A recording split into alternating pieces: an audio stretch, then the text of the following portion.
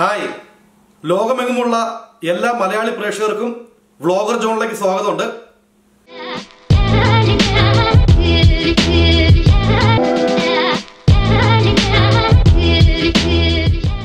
Corona എന്ന് പറയുന്ന രോഗം ഒരു പാൻഡമിക് ആയിട്ട് ലോകം മൊത്തം വ്യാപിച്ചിരിക്കുമ്പോൾ കാനഡ എന്ന് പറയുന്ന ഈ രാജ്യത്ത് സ്റ്റുഡന്റ് ആയിട്ട് വരുന്നവർക്കും വിസിറ്റർ വിസയിൽ വരുന്നവർക്കും വർക്ക് പെർമിറ്റിൽ വരുന്നവർക്കും അതുപോലെ തന്നെ പെർമനന്റ് റെസിഡൻസി സ്റ്റാറ്റസ് കിട്ടി വരുന്നവർക്കും എന്തൊക്കെ കാര്യങ്ങളാണ് ശ്രദ്ധിക്കേണ്ടത് അവർക്ക് ഇപ്പോൾ വരാൻ വേണ്ടി പറ്റുമോ?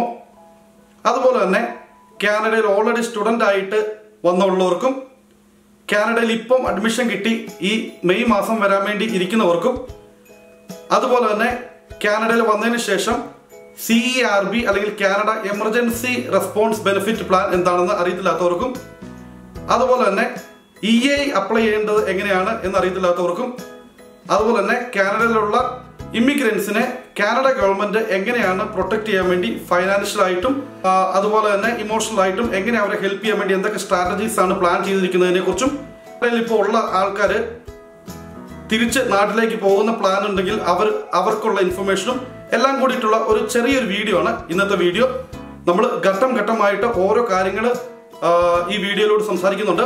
അതുകൊണ്ട് ഈ വീഡിയോ ആദ്യം തൊട്ട് അവസാനം വരെ കാണുകയാണെങ്കിൽ പിന്നെ വേറൊരു വീഡിയോയും കാണേണ്ട ആവശ്യം വരികയില്ല.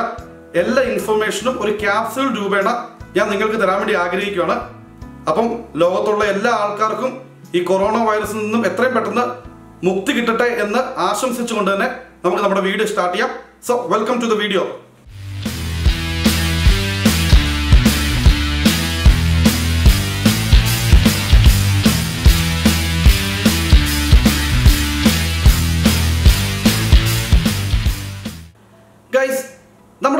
category എന്ന് പറഞ്ഞിട്ടുണ്ടെങ്കിൽ ഇന്റർനാഷണൽ സ്റ്റുഡൻസ് ആണ്.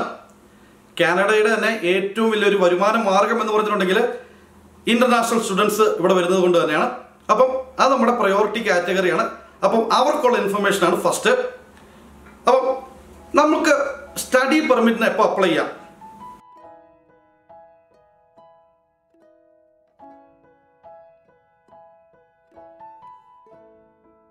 അപ്പൊ നമ്മൾ ഓൾറെഡി ഒരു കോളേജിൽ അഡ്മിഷൻ കിട്ടിയിട്ടുണ്ട്. അങ്ങനെയാണെങ്കിൽ നമുക്ക് ഉടൻ തന്നെ സ്റ്റഡി പെർമിറ്റിന് അപ്ലൈ ചെയ്യാൻ വേണ്ടി പറ്റും. ഓൺലൈനായിട്ട് അപ്ലൈ ചെയ്യാൻ വേണ്ടിയാണ് കനേഡിയൻ ഗവൺമെന്റ് പറയുന്നത്. പേപ്പർ അപ്ലിക്കേഷൻ കുറച്ച് താമസം കുറച്ച് ഡിലേ വരുന്നുണ്ട്. രണ്ടാമത്തായിട്ട് നമുക്ക് ഇമിഗ്രേഷൻ ആപ്ലിക്കേഷൻ ഇപ്പം സ്റ്റുഡൻസിന് തന്നെ ഇമിഗ്രേഷൻ ആപ്ലിക്കേഷൻ വെക്കാൻ വേണ്ടി ഇത് പറ്റിയ സമയമാണോ?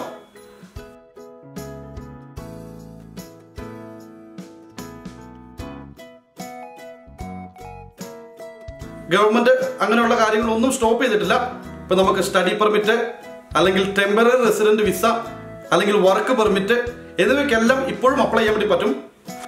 കാനഡയ്ക്ക് ഉള്ളിലുള്ളവർക്കും കാനഡയ്ക്ക് പുറത്തുള്ളവർക്കും അതായത് സ്റ്റുഡന്റ് വിസയിലൂടെ വന്നതിന് ശേഷം നാട്ടിലേക്ക് പോയിട്ടുള്ള ആൾക്കാർക്കും അതേസമയം സ്റ്റുഡന്റ് വിസയിലൂടെ വന്ന് ഇവിടെ തന്നെ താമസിക്കുന്ന ആൾക്കാർക്കും സ്റ്റഡി പെർമിറ്റിനും അല്ലെങ്കിൽ ടെമ്പററി റെസിഡന്റ് വിസ പുറത്തേക്ക് വിടുന്നത് അത് അപ്ലൈ ചെയ്യാൻ വേണ്ടിയും വർക്ക് പെർമിറ്റിന് അപ്ലൈ ചെയ്യാൻ വേണ്ടിയും ഇന്റർനാഷണൽ സ്റ്റുഡൻസിന് ഇപ്പോൾ പറ്റുന്നതാണ്. കാനഡ ഗവൺമെന്റ് പറഞ്ഞിരിക്കുന്നത് ഓൺലൈനായിട്ട് ഈ അപ്ലിക്കേഷനൊക്കെ വെക്കാൻ വേണ്ടിയാണ്. പിന്നെ പ്രോസസ്സിംഗ് ടൈം ഓൺലൈനായിട്ട് അപ്ലൈ ചെയ്തിട്ടുണ്ടെങ്കിൽ എല്ലാ എല്ലാ സമയത്തെ പോലെ തന്നെ പെട്ടെന്ന് കാര്യങ്ങൾ നടക്കും. പേപ്പർ ആണെങ്കിൽ കുറച്ച് ഡിലേ വരും. എന്നിരുന്നാലും ആകെ മൊത്തം ടോട്ടൽ കുറച്ച് ഡിലേ പ്രോസസ്സിംഗ് ടൈമിന് വർക്ക് പെർമിറ്റ് ആണെങ്കിലും ടെമ്പററി റെസിഡന്റ് വിസയ്ക്ക് ആണെങ്കിലും സ്റ്റുഡന്റ് പെർമിറ്റ് ആണെങ്കിലും ഇപ്പോൾ വന്നുകൊണ്ടിരിക്കുന്നുണ്ട്. ഈ കോവിഡുമായിട്ട് ബന്ധപ്പെട്ട് നമ്മുടെ എല്ലാ ആപ്ലിക്കേഷനും ബയോമെട്രിക്സ് കൊടുക്കേണ്ടത് ഒരു അത്യാവശ്യമുള്ള കാര്യമാണ്. ബയോമെട്രിക്സ് കൊടുത്തതിന് ശേഷം മാത്രമേ നമ്മുടെ അപ്ലിക്കേഷൻ പരിഗണിച്ചു തുടങ്ങുള്ളൂ വിസ അപ്ലിക്കേഷൻ സെന്റേഴ്സ് എല്ലാം ക്ലോസ്ഡ് ആയിട്ടിരിക്കുന്ന ഒരു സമയമാണ്. അല്ലെങ്കിൽ ചില സമയത്തൊക്കെ ചില സ്ഥലത്തൊക്കെ തുറക്കുന്നുള്ളൂ. നേരത്തെ നമുക്ക് ബയോമെട്രിക്സ് അപ്ലൈ ചെയ്യാൻ വേണ്ടി മുപ്പത് ദിവസമാണ് ഉണ്ടായിരുന്നുള്ളത് എന്നാൽ കാനഡ ഗവൺമെന്റ് അത് ഓട്ടോമാറ്റിക് ആയിട്ട് നയന്റി ഡേയ്സിലേക്ക് എക്സ്റ്റെൻഡ് ചെയ്തിട്ടുണ്ട്. അതുകൊണ്ട് നമ്മുടെ ഏതെങ്കിലും application visa application permanent resident status വിസയോ അല്ലെങ്കിൽ ടെമ്പററി റെസിഡന്റ് വിസയോ വിസിറ്റർ വിസയോ ഏത് അപ്ലിക്കേഷൻ ആണെങ്കിലും അതിന്റെ ബയോമെട്രിക്സ് കൊടുക്കേണ്ട സമയം മുപ്പത് ദിവസത്തിൽ നിന്ന് തൊണ്ണൂറ് ദിവസത്തിലേക്ക് എക്സ്റ്റെൻഡ് ചെയ്തിട്ടുണ്ട് ഗവൺമെന്റ് സോ ഇപ്പൊ നമ്മളൊരു ഇന്റർനാഷണൽ സ്റ്റുഡന്റ് ആണ്. നമ്മുടെ സ്റ്റഡീസ് നമ്മുടെ ക്ലാസ് മെയിൽ സ്റ്റാർട്ട് ചെയ്യാൻ വേണ്ടി ഇരുന്നാണെങ്കിൽ പക്ഷെ നമുക്ക് കാനഡയിലേക്ക് ട്രാവൽ ചെയ്യാൻ വേണ്ടി പറ്റില്ല എന്നുള്ള ഒരു കാര്യമാണെങ്കിൽ നമുക്ക് ഓൺലൈനായിട്ട് നമ്മുടെ കോഴ്സ് ചെയ്യാൻ തുടങ്ങാം. ഇപ്പം നമ്മുടെ പോസ്റ്റ് ഗ്രാജുവേഷൻ ഇപ്പം നമുക്ക് വേറൊരു സ്റ്റഡി സ്റ്റാർട്ട് ചെയ്യണം. ഒരു വേറൊരു സ്റ്റഡി പെർമിറ്റ് വേണം. അത് നമ്മുടെ ഇപ്പോഴത്തുള്ള current post graduation work permit ആണ് എലിജിബിലിറ്റി ക്രൈറ്റീരിയ ആയിട്ടുണ്ടെങ്കിൽ നമുക്ക് ഒരു സ്റ്റഡി പെർമിറ്റ് വാലിഡ് ആയിട്ടുള്ള സ്റ്റഡി പെർമിറ്റ് ഉണ്ടെങ്കിൽ മാത്രമേ നമുക്ക് വേറൊരു കോഴ്സ് സ്റ്റാർട്ട് ചെയ്യാൻ വേണ്ടി പറ്റുള്ളൂ. ഓൺലൈൻ ആയിട്ടാണ് നമ്മുടെ കോഴ്സുകൾ നമുക്ക് സ്റ്റാർട്ട് ചെയ്യാൻ വേണ്ടി പറ്റും. നമുക്ക് സ്റ്റഡി പെർമിറ്റ് ഓൾറെഡി അപ്രൂവ് ആയിട്ടുണ്ടെങ്കിൽ നമ്മൾ ഇങ്ങോട്ട് വന്നിട്ടില്ല കാനഡയിൽ എത്തിയിട്ടില്ല. ഇന്ത്യയിൽ നിന്ന് തന്നെ നമുക്ക് ഓൺലൈൻ സ്റ്റഡി നമ്മുടെ കോളേജിന്റെ വെബ്സൈറ്റ് കയറി നമുക്ക് സ്റ്റാർട്ട് ചെയ്യാൻ വേണ്ടി വരുന്നതാണ്. ഇപ്പൊ നമ്മുടെ student work student permit already expire ആകാൻ വേണ്ടി പോവാൻ പോവാണ്. അപ്പോൾ നമുക്ക് നമുക്ക് ഓൺലൈൻ ആയിട്ട് extend your stay as a student അല്ലെങ്കിൽ സ്റ്റഡി പെർമിറ്റ് എക്സ്റ്റെൻഡ് ചെയ്യാൻ വേണ്ടിയുള്ള ഓൺലൈൻ അപ്ലിക്കേഷൻ വെക്കാൻ വേണ്ടി പറ്റും. ഇനിയും അതുപോലെ തന്നെ നമ്മുടെ നമുക്കൊരു ഡിപ്പെൻഡന്റ് ഉണ്ട്. ഇപ്പം നമുക്കൊരു സ്പൗസ് ഉണ്ട്. ആ സ്പൗസിന് ഒരു ഓപ്പൺ വർക്ക് പെർമിറ്റ് കിട്ടിയായിരുന്നു. നമ്മളിവിടെ സ്റ്റുഡന്റ് ആയിട്ട് വന്നതിന് ശേഷം.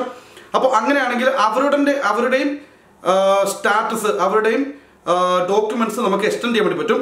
Extend your stay as a temporary foreign വർക്കറോ അല്ലെങ്കിൽ സ്റ്റുഡന്റോ അല്ലെങ്കിൽ ആ ഏത് കാറ്റഗറിയാണുള്ളത് നമ്മുടെ ആ നമ്മുടെ ആ ഡോക്യുമെന്റ് നമുക്ക് എക്സ്റ്റെൻഡ് ചെയ്യാൻ വേണ്ടി പറ്റുന്നതാണ് ഓൺലൈൻ അപ്ലിക്കേഷൻ വഴി. നമ്മുടെ ഓൺലൈൻ ആപ്ലിക്കേഷൻ അപ്രൂവ് ആകുന്നവരെ നമുക്കൊരു ഇംപ്ലൈഡ് സ്റ്റാറ്റസ് ഉണ്ടാവും കാനഡയിൽ. നമുക്ക് ഏത് ഏത് സ്റ്റാറ്റസ് ആണ് കറണ്ട് ഉള്ളത് ആ സ്റ്റാറ്റസ് നമ്മൾ മെയിന്റെയിൻ ചെയ്യും നമ്മുടെ അപ്ലിക്കേഷൻ അപ്രൂവ് ആകുന്നവരെ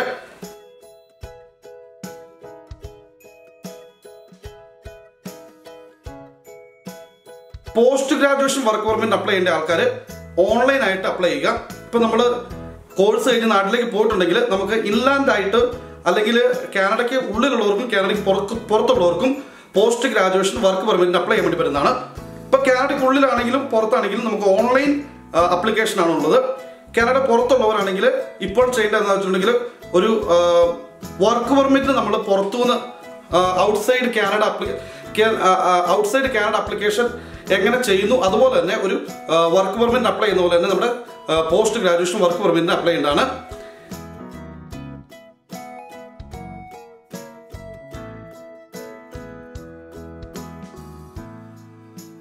ഇനി നമ്മുടെ ഇന്റർനാഷണൽ സ്റ്റുഡന്റ് ആണ്. നമ്മൾ അബ്രോഡ് ആണുള്ളത്. നമ്മൾ പുറത്താണുള്ളത്. നമുക്ക് തിരിച്ച് കാനഡയിലേക്ക് വരാൻ വേണ്ടി പറ്റുമോ എന്നുള്ളതാണ് ചോദ്യം. അപ്പം നമ്മൾ മാർച്ച് എയ്റ്റീൻതിന് മുമ്പ് ഈ രണ്ടായിരത്തി ഇരുപത് മാർച്ച് എയ്റ്റീന് മുമ്പ് നമ്മുടെ സ്റ്റഡി പെർമിറ്റ് അപ്രൂവ് ആയതാണെങ്കിൽ നമുക്ക് തിരിച്ച് കാനഡയിലേക്ക് വേണം പറ്റും. അങ്ങനെ നമുക്ക് സ്റ്റഡി പെർമിറ്റ് മാർച്ച് എയ്റ്റീന് മുമ്പ് അപ്രൂവ് ആയതാണ്. നമുക്ക് കാനഡയിലേക്ക് വരണം എന്ന ആഗ്രഹമുണ്ടെങ്കിൽ നമ്മൾ പോർട്ട് ഓഫ് എൻട്രിയിൽ അത് നമ്മൾ വിമാനം ഇറങ്ങുന്ന സ്ഥലത്ത് നമ്മുടെ വാലിഡ് ആയിട്ടുള്ള സ്റ്റഡി പെർമിറ്റ് അവർക്ക് കാണിച്ചു കൊടുത്തെങ്കിൽ മാത്രമേ നമുക്ക് ആ ട്രാവൽ എക്സംഷൻ കിട്ടുള്ളൂ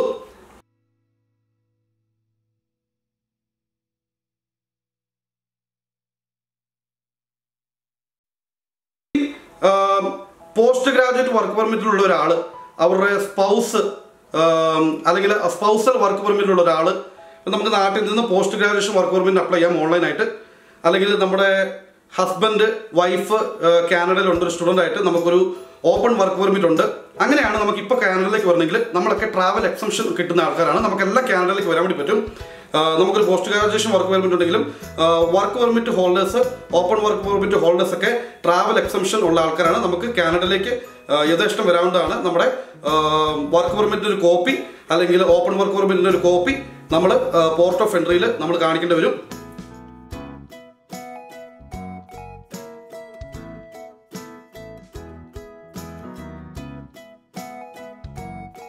നമ്മളിപ്പം ഒരു പെർമനന്റ് റെസിഡൻസ് ആകാൻ വേണ്ടി കൺഫർമേഷൻ പെർമനന്റ് റെസിഡൻസും അങ്ങനത്തെ സംഭവങ്ങളെല്ലാം കിട്ടാൻ വേണ്ടി ഫ്ലാഗ് പോളിംഗ് അല്ലെങ്കിൽ നമ്മൾ നേരിട്ട് കാനഡ യു എസ് ബോർഡറിലേക്ക് പോയിട്ട് നമ്മുടെ സ്റ്റഡി പെർമിറ്റ് എക്സ്റ്റെൻഡ് ചെയ്യുക അല്ലെങ്കിൽ പുതിയൊരു സ്റ്റഡി പെർമിറ്റിന് അപ്ലൈ ചെയ്യുക അല്ലെങ്കിൽ പുതിയൊരു വർക്ക് പെർമിറ്റ് അപ്ലൈ ചെയ്യുക അതിന് ഫ്ലാഗ് പോളിംഗ് എന്നാണ് പറയുന്നത്. ഫ്ലാഗ് പോളിംഗ് ഇപ്പം നടത്താൻ പറ്റുമോ? നമ്മുടെ ഏതെങ്കിലും ഡോക്യുമെന്റ് ഇൻ പേഴ്സൺ പോയിട്ട് റിന്യൂ ചെയ്യാൻ വേണ്ടി പറ്റുമോ? അപ്പോൾ ഇതൊരു നോൺ എസെൻഷ്യൽ ട്രാവൽ ആയിട്ടാണ് കാനഡ ഗവൺമെന്റ് കണ്ടിരിക്കുന്നത്. അതുകൊണ്ട് തന്നെ എല്ലാ തരത്തിലുള്ള ഫ്ലാഗ് പോളിംഗും നമ്മുടെ സ്റ്റഡി പെർമിറ്റ് പുതുക്കാൻ വേണ്ടിയോ വർക്ക് പെർമിറ്റ് പുതുക്കാൻ വേണ്ടിയോ പെർമനന്റ് റെസിഡൻസ് കിട്ടാൻ വേണ്ടിയോ ഫ്ലാഗ് പോളിംഗ് ചെയ്യുന്നത് ഇപ്പോൾ നടക്കില്ല. അപ്പം അതുകൊണ്ട് ഫ്ലാഗ് പോളിംഗ് ഒരു നോൺ എസെൻഷ്യൽ ട്രാവൽ ആയിട്ടാണ് കാണുന്നത്. അതുകൊണ്ട് തന്നെ അത് ഇപ്പോൾ നടക്കില്ല. അപ്പം രാജ്യം മുഴുവൻ കോവിഡ് ബാധിച്ചിരിക്കുന്ന ഒരു സമയമാണ്. അപ്പം ഈ കോവിഡ് നയന്റീൻ മൂലം ഇന്റർനാഷണൽ സ്റ്റുഡൻസിന് അവരുടെ സ്റ്റഡീസ് മെയിന്റെയിൻ ചെയ്യാൻ വേണ്ടി പറ്റാത്ത ഒരു അവസ്ഥയുണ്ട്. ചിലർ പാർട്ട് ടൈം സ്റ്റഡീസിലേക്ക് പോയിട്ടുണ്ട്. ചിലർ ഓൺലൈൻ സ്റ്റഡീസിലേക്ക് പോയിട്ടുണ്ട്. ചിലർ തിരിച്ച് നാട്ടിലേക്ക് പോയിട്ടുണ്ട്. അങ്ങനെയുള്ള ആൾക്കാർ ആൾക്കാർക്ക് ഇഷ്ടപ്പെടുന്ന കുറച്ച് ഇൻഫർമേഷനാണ് അടുത്തായിട്ട് എനിക്ക് തരാൻ വേണ്ടി ആഗ്രഹിക്കുന്നത്. ഇപ്പം നമ്മൾ കൊറോണ വൈറസ് മൂലം നമ്മൾ ഫുൾ ടൈം സ്റ്റഡിയിൽ നിന്ന് പാർട്ട് ടൈം സ്റ്റഡീസ് സ്റ്റഡീസിലേക്ക് മാറിയിട്ടുണ്ടെങ്കിൽ നമുക്ക് പോസ്റ്റ് ഗ്രാജുവേഷൻ വർക്ക് പെർമിറ്റ് കിട്ടുമോ? നമ്മൾ one two three years post graduation work permit നമുക്ക് കിട്ടും. നമുക്ക് എയ്റ്റ് മന്ത് ഉള്ള ഒരു കോഴ്സെങ്കിലും അറ്റ്ലീസ്റ്റ് ടു സെമസ്റ്റർ ഉള്ള ഒരു കോഴ്സെങ്കിലും മിനിമം എടുത്തിട്ടുണ്ടെങ്കിൽ ഇപ്പം നമ്മൾ ഒരു ഫുൾ ടൈം കോഴ്സ് ആയിരുന്നു എടുത്തിരുന്നത്. പക്ഷേ നമ്മളത് പാർട്ട് ടൈമിലേക്ക് മാറി ഈ കോവിഡ് നയന്റീൻ മൂലം അങ്ങനെയാണെങ്കിൽ നമുക്ക് പോസ്റ്റ് ഗ്രാജുവേഷൻ വർക്ക് പെർമിറ്റിന് അപ്ലൈ ചെയ്യാൻ വേണ്ടി പറ്റുമോ തീർച്ചയായിട്ടും അപ്ലൈ ചെയ്യാൻ വേണ്ടി പറ്റും. അതുപോലെ തന്നെ നമ്മൾ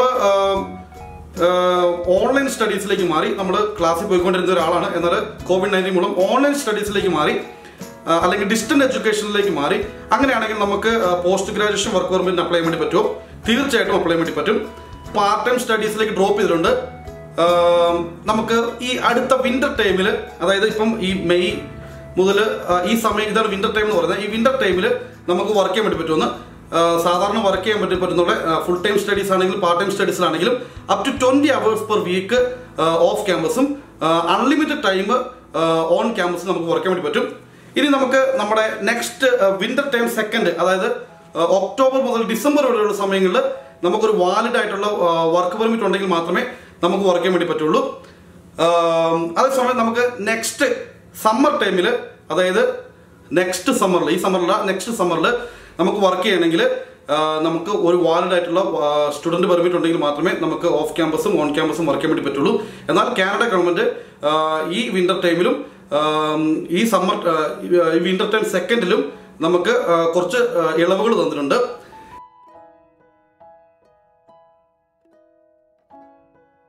സ്റ്റുഡന്റ് ആണ്. നമ്മൾ നമ്മുടെ ജോലി നഷ്ടപ്പെട്ടു. നമ്മളിവിടെ വർക്ക് പാർട്ട് ടൈം സ്റ്റുഡന്റ് ആയിരുന്നു. അങ്ങനെയാണെങ്കിൽ നമുക്ക് എന്തെങ്കിലും ഗവൺമെന്റിൽ നിന്ന് എന്തെങ്കിലും ബെനിഫിറ്റ് കിട്ടും വളരെ ഇമ്പോർട്ടന്റ് ആയിട്ടുള്ള ചോദ്യമാണ്.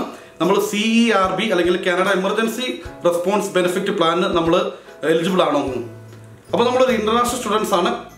നമ്മൾ ഈ കഴിഞ്ഞ പാസ്റ്റ് വൺ ഇയറിൽ അയ്യായിരം ഡോളറെങ്കിലും നമ്മൾ വർക്ക് ചെയ്തുണ്ടാക്കോ? അല്ലെങ്കിൽ ഗവൺമെന്റിൽ നിന്ന് നമുക്ക് ഇ ഐ മൂലോ അങ്ങനെ ഏതെങ്കിലും ഒരു സോഷ്യൽ ബെനിഫിറ്റോ അങ്ങനെ ഏതെങ്കിലും തരത്തിൽ നമുക്ക് ഒരു അയ്യായിരം ഡോളർ നമുക്ക് ഇൻകം ആയിട്ട് കിട്ടിയിട്ടുണ്ടെങ്കിൽ നമുക്കൊരു വാലിഡ് സിൻ നമ്പർ ഉണ്ടെങ്കിൽ നമ്മൾ കഴിഞ്ഞ പതിനാല് ദിവസത്തിനുള്ളിൽ നമുക്ക് കണ്ടിന്യൂസ് ആയിട്ട് നമ്മുടെ ജോലി നമുക്ക് ഇല്ല എങ്കിൽ നമ്മൾ സി ആർ ബിക്ക് അപ്ലൈ ചെയ്യാം. സി ആർ ബി എന്ന് പറഞ്ഞിട്ടുണ്ടെങ്കിൽ ഫൈവ് ഹൺഡ്രഡ് പെർ വീക്ക് അതായത് ഒരു മാസം രണ്ടായിരം ഡോളർ വെച്ച് ഇന്റർനാഷണൽ സ്റ്റുഡൻസിനും വർക്ക് പെർമിറ്റ് ഉള്ളവർക്കും കനേഡിയൻ പെർമനന്റ് റെസിഡൻസിനും സിറ്റിസിനൊക്കെ ഗവൺമെന്റ് കൊടുക്കുന്ന ഒരു ഒരു സപ്ലിമെന്റ് ആണ്. അപ്പോൾ നമുക്കൊരു സിൻ നമ്പർ ഇല്ല എന്ന് വെക്കുക. അതേസമയം നമ്മൾ ബാക്കി എല്ലാ ക്രൈറ്റീരിയ മീറ്റ് ചെയ്തു നമ്മൾ ഒരു അയ്യായിരം ഡോളർ കഴിഞ്ഞ ഒരു വർഷം കൊണ്ട് ഉണ്ടാക്കിയിട്ടുണ്ട്. നമ്മൾ ഒരു നമുക്ക് ഏതെങ്കിലും നമ്മുടെ ഇൻഷുറൻസിൽ നിന്നോ എങ്ങനെയെങ്കിലും അയ്യായിരം ഡോളർ നമുക്ക് ഇൻകം കിട്ടിയിട്ടുണ്ട്. പക്ഷെ നമുക്ക് വാലിഡ് സിൻ നമ്പർ ഇല്ലെങ്കിൽ തന്നെ നമുക്ക് കനേഡിയൻ ഗവൺമെന്റ് പറയുന്നത് നമുക്ക് അപ്ലൈ ചെയ്യാം. നിങ്ങൾ എലിജിബിൾ ആയിരിക്കും എന്നാണ് പറയുന്നത്.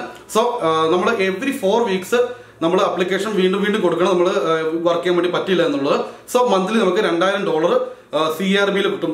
That's a very good thing for international students നമുക്ക് അടുത്തായിട്ട് പറയാൻ വേണ്ടിയുള്ളത് വിവിധ തരത്തിലുള്ള ആൾക്കാർ അതായത് വിസിറ്റർ വിസയിലുള്ള ആൾക്കാർ international students temporary foreign workers permanent residence ആയിട്ട് വരുന്ന ആൾക്കാർ സിറ്റിസൺഷിപ്പ് അപ്ലിക്കേഷന് എന്നുള്ള ഇപ്പൊ എല്ലാ അപ്ലിക്കേഷനും നമ്മളിപ്പോൾ സമർപ്പിച്ചുള്ള അപ്ലിക്കേഷൻ എല്ലാം പ്രോസസ്സിംഗ് സ്റ്റിൽ കണ്ടിന്യൂ ചെയ്യുന്നുണ്ട്. സ്ട്രീം ലൈൻ ആയിട്ട് കണ്ടിന്യൂ ചെയ്യുന്നുണ്ട്. അതിനൊന്നും ഒരു പ്രശ്നമില്ല ഇപ്പൊ നമ്മളൊരു വിസിറ്റർ വിസ ഉള്ള ആളാണ്. നമുക്ക് കാനഡയിലേക്ക് വരണം എന്നുണ്ടെങ്കിൽ നമ്മൾ ഒരു പ്രത്യേക തരത്തിലുള്ള ആൾക്കാർ അതായത് കനേഡിയൻ ഗവൺമെന്റ് ഇൻവൈറ്റ് ചെയ്യുന്ന ആൾക്കാർ അല്ലെങ്കിൽ ഇന്ത്യൻ സ്റ്റാറ്റസ് ഉള്ള ആൾക്കാർ അങ്ങനെയുള്ളവർക്കൊക്കെ പറ്റുള്ളൂ അല്ലാതെ വരണമെങ്കിൽ നമുക്ക് നമ്മുടെ ഒരു ഇമ്മീഡിയറ്റ് ഫാമിലി മെമ്പർ ഇവിടെ ഉണ്ടെങ്കിൽ ഇപ്പോൾ നമുക്ക് നമ്മുടെ ഒരു അമ്മേനെയോ ചേച്ചീനെയോ ചേട്ടനെയോ ഒക്കെയാണ് നമ്മൾ വിസിറ്റ് വിസിറ്റേക്ക് അവർ വരുന്നെങ്കിൽ അവർക്കൊക്കെ വരാൻ വേണ്ടി പറ്റും. നമ്മൾ ഒരു ഫോം ഫില്ല് ചെയ്ത് കാണിക്കണം. അല്ലെങ്കിൽ നമ്മുടെ കനേഡിയൻ ഗവൺമെന്റ് പറയണം ഇതൊരു എസെൻഷ്യൽ ഫാമിലി റീയൂണിഫിക്കേഷൻ ആണ്. പിന്നെ ഇന്റർനാഷണൽ സ്റ്റുഡൻസ് മാർച്ച് എയ്റ്റീൻതിന് മുമ്പ് അവരുടെ അപ്ലിക്കേഷൻ ഇന്റർനാഷണൽ സ്റ്റുഡൻസിന്റെ അവരുടെ അപ്ലിക്കേഷൻ സ്റ്റഡി പെർമിറ്റ് അവർക്ക് കിട്ടിയിട്ടുണ്ടെങ്കിൽ ഇന്റർനാഷണൽ സ്റ്റുഡൻസ് എല്ലാം ഈ ട്രാവൽ ബാനിൽ നിന്ന് എക്സെപ്റ്റ് ആണ്. പിന്നെ ടെമ്പററി ഫോറിൻ വർക്കേഴ്സ് ആണ്. നിങ്ങൾ ടെമ്പററി ഫോറിൻ വർക്കർ ആയിട്ടാണ് വരുന്നത്. അല്ലെങ്കിൽ ഒരു വർക്ക് പെർമിറ്റിലൂടെയാണ് കാനഡയിലേക്ക് വരുന്നതെങ്കിൽ നിങ്ങളുടെ ട്രാവൽ എക്സെപ്റ്റ് ആണ്. നിങ്ങൾക്ക് എയർ വഴിയോ അല്ലെങ്കിൽ ഇപ്പം ഇപ്പം അമേരിക്കയിലോ മെക്സിക്കോയിലോ ഒക്കെ ഉള്ളവർക്കാണെങ്കിൽ അവർക്ക് മറ്റു മാർഗങ്ങളിലൂടെയും കാനഡയിലേക്ക് എത്താൻ വേണ്ടി പറ്റും. So if you are temporary foreign worker നിങ്ങൾ നിങ്ങൾക്ക് ഒരു ടെമ്പററി ഫോറിൻ വർക്കർ സ്റ്റാറ്റസ് ആണുള്ളെങ്കിൽ നിങ്ങൾക്ക് കാനഡയിലേക്ക് ഏത് സമയം തിരിച്ചു വരാൻ പറ്റുന്നതാണ്. പിന്നെ നിങ്ങളൊരു പെർമനന്റ് റെസിഡന്റ് ആണ്. നിങ്ങളുടെ അപ്ലിക്കേഷൻ മാർച്ച് എയ്റ്റീന് മുമ്പ് നിങ്ങൾക്ക് അപ്രൂവൽ വന്നതാണ്. You approve for permanent residence before March eighteen അങ്ങനെയാണെങ്കിൽ നിങ്ങൾക്ക് കാനഡയിലേക്ക് വരാൻ വേണ്ടി പറ്റുന്നതാണ്. ഇപ്പം നമ്മൾ ഒരു പെർമനന്റ് റെസിഡൻസ് ആണ്.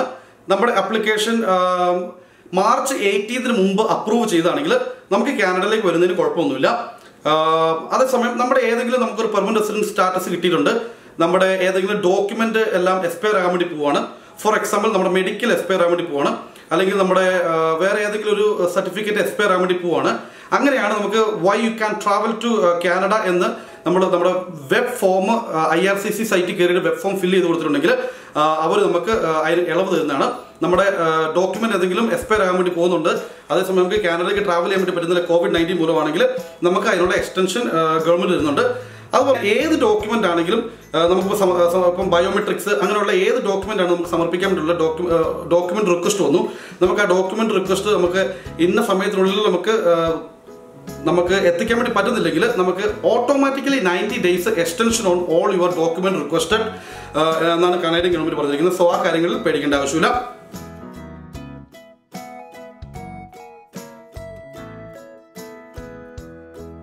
ഗൈസ് ഇനിയാണ് നമുക്ക് വളരെ ഇമ്പോർട്ടന്റ് ആയിട്ടുള്ള ഒരു കാര്യം പറയാൻ വേണ്ടിയുള്ളത്.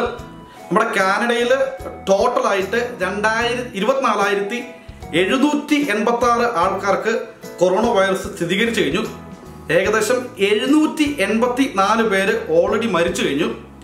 ബ്രിട്ടീഷ് കൊളംബിയയിൽ ഏകദേശം ആയിരത്തി നാനൂറ്റി നാൽപ്പത്തഞ്ച് പേർക്ക് കോവിഡ് നയന്റീൻ ഉണ്ട്. ആൽബർട്ടയിൽ ആയിരത്തി അറുന്നൂറ്റി അമ്പത്തൊന്ന് പേർക്ക് കോവിഡ് നയന്റീൻ ഉണ്ട്. ഒണ്ടാരിയയിൽ ഏകദേശം ഏഴായിരത്തി നാനൂറ്റി എഴുപത് പേർക്ക് കൊറോണ വൈറസ് സ്ഥിരീകരിച്ചു. ക്യുബക്കിലാണെങ്കിൽ പന്ത്രണ്ടായിരത്തി എണ്ണൂറ്റി നാൽപ്പത്തി ആറ് പേർക്ക് കോവിഡ് നയന്റീൻ കോവിഡ് നയന്റീൻ സ്ഥിരീകരിച്ചിട്ടുണ്ട്. ഒണ്ടാരിയയിലൊക്കെ ഒരു പാർഷ്യൽ ഷട്ട് ഡൗൺ ഒക്കെ ഉണ്ട്. പിന്നെ എല്ലാ മിക്കവാറും എല്ലാ സ്റ്റേറ്റിലും എല്ലാ പ്രൊവിൻസിലും ഒരു സ്റ്റേറ്റ് ഓഫ് എമർജൻസിക്ക് പ്രഖ്യാപിച്ചിട്ടുണ്ട്. എന്നിരുന്നാലും നമ്മുടെ നാട്ടിലെ പോലെ ഉള്ള ഒരു കോണ്ടാക്ട് ട്രേസിങ്ങോ അല്ലെങ്കിൽ ഒരു ഹോം ക്വാറന്റൈനോ ഐസൊലേഷനോ ഒന്നും അത്ര ഒരു കാനഡയുടെ പ്രൈവസി ലോ വെച്ചിട്ട് ഇപ്പം നമ്മൾ ഈ പറയുന്ന ഏത് ആൾക്കാരും ഇന്റർനാഷണൽ സ്റ്റുഡന്റ് ആണെങ്കിലും വിസിറ്റർ വിസയിൽ വരുന്ന ആൾക്കാരാണെങ്കിലും പെർമനന്റ് റെസിഡന്റ് സ്റ്റാറ്റസിൽ വരുന്ന ആൾക്കാരാണ്?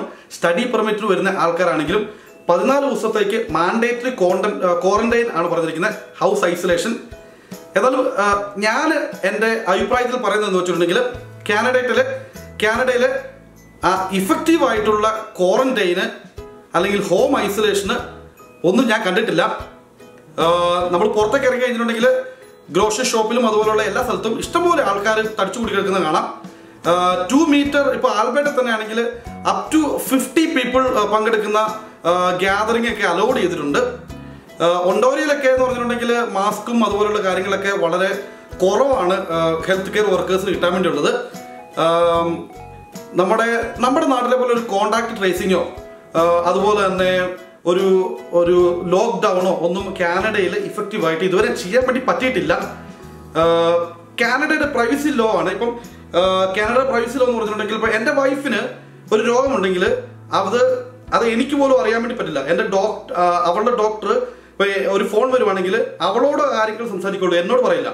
സെയിം സംഭവം. ഇപ്പം നമ്മൾ ഒരു നമ്മുടെ വീട്ടിലുള്ള ആൾക്കാരുടെ തന്നെ രോഗവിവരങ്ങളോ മറ്റുള്ള ഒരു ഒരു കാര്യവും ഒരു പ്രൈവസി ലോ വെച്ച് അവനോർക്ക് എനിക്ക് അറിയാനുള്ള കാര്യങ്ങൾ എന്നോട് പറയുള്ളൂ അവൾക്ക് അറിയാനുള്ളത് അവളോട് പറയും. അതാണ് ഈ കാനഡയിലുള്ള കാര്യം. അതുപോലെ തന്നെ ഇപ്പൊ നമ്മുടെ ഈ അപ്പാർട്ട്മെന്റിൽ തന്നെ ആർക്കെങ്കിലും അല്ലെങ്കിൽ നമ്മുടെ ഹൗസിനടുത്ത് തന്നെ ആർക്കെങ്കിലും കോവിഡ് നയന്റീൻ സ്ഥിരീകരിച്ചിട്ടുണ്ടെങ്കിൽ ഇന്ന ആളുടെ പേര് വിവരോ അദ്ദേഹം എവിടെയുള്ളതാണെന്നൊന്നും ആരാണെന്നൊന്നും പറയില്ല. അതുകൊണ്ട് തന്നെ contact tracing primary source reduction അല്ലെങ്കിൽ പ്രൈമറി പ്രൈമറി കോണ്ടാക്ട്സിനെ കണ്ടെത്തുക സെക്കൻഡറി കോണ്ടാക്ട്സിനെ കണ്ടെത്തുക സോഴ്സ് റിഡക്ഷൻ ചെയ്യുക അതൊക്കെ വളരെ ഇന്നഫക്റ്റീവ് ആയിട്ട് കൈകാര്യം ചെയ്യുന്ന ഒരു കൺട്രിയാണ് അമേരിക്കയെ പോലെ തന്നെ കാനഡയും എന്ന് എനിക്ക് പറയേണ്ടി വരും. അതേസമയം ജോലി നഷ്ടപ്പെട്ടുള്ളവർക്ക് അല്ലെങ്കിൽ എംപ്ലോയേഴ്സിന് അവരുടെ എംപ്ലോയീസിനെ പേറോൾ നിർത്താൻ വേണ്ടി subsidy wage subsidy C R B Canadian emergency response benefit plan E A I എന്നിവയെല്ലാം കൊടുക്കും. അതേസമയം ഒരു ലോക്ക്ഡൗണോ അതുപോലെ തന്നെ ഒരു വളരെ ഇഫക്റ്റീവ് ആയിട്ടുള്ള ഒരു ഷട്ട് ഡൗണോ ഹോം ഐസൊലേഷനോ ക്വാറന്റൈനോ സോഷ്യൽ ഡിസ്റ്റൻസിങ്ങോ ഒന്നും കാനഡയിലും കാണുന്നില്ല. അതുകൊണ്ട് തന്നെ കാനഡയിലേക്ക് വരുന്ന ഏത് തരത്തിലുള്ള ആൾക്കാരാണെങ്കിലും ഫോർട്ടീൻ ഡേയ്സ് ക്വാറന്റൈൻ വേണമെന്നാണ് കാനഡ ഗവൺമെന്റ് പറയുന്നത്. അപ്പം ഈ സമയത്ത് ഇപ്പൊ ഇന്റർനാഷണൽ സ്റ്റുഡൻസോ അല്ലെങ്കിൽ പെർമനന്റ് സ്റ്റുഡൻസ് ആയിട്ടുള്ളവരൊക്കെ കാനഡയിലേക്ക് വരുന്നുണ്ടെങ്കിൽ തന്നെ നിങ്ങൾ വരുന്നത് കൊള്ളാം. നിങ്ങൾ നിങ്ങൾ ചെയ്യേണ്ട കാര്യങ്ങൾ എന്ന് വെച്ചിട്ടുണ്ടെങ്കിൽ stay home and stop the spread of coronavirus പിന്നെ ഗൈസ് നിങ്ങൾ ഇങ്ങോട്ട് വരണോ വേണ്ടയോ എന്നുള്ളത് നിങ്ങളുടെ തീരുമാനമാണ്. കോവിഡ് നയന്റീന്റെ സ്റ്റാറ്റിസ്റ്റിക്സ് ആസ് ഓഫ് നാവ് ഞാൻ പറഞ്ഞിട്ടുണ്ട് നിങ്ങളോട്. നയന്റീൻ സ്പ്രെഡ് ചെയ്യുന്നതിൽ ആ ഒരു കർവ് ഫ്ലാറ്റൻ ചെയ്യാൻ വേണ്ടി അല്ലെങ്കിൽ ആ ഒരു ട്രാൻസ്മിഷൻ ബ്രേക്ക് ചെയ്യാൻ വേണ്ടി നമുക്ക് എല്ലാവർക്കും ഒത്തൊരുമയോട് കൂടി പ്രവർത്തിക്കാം. It's until then Rajesh John signing off bye take care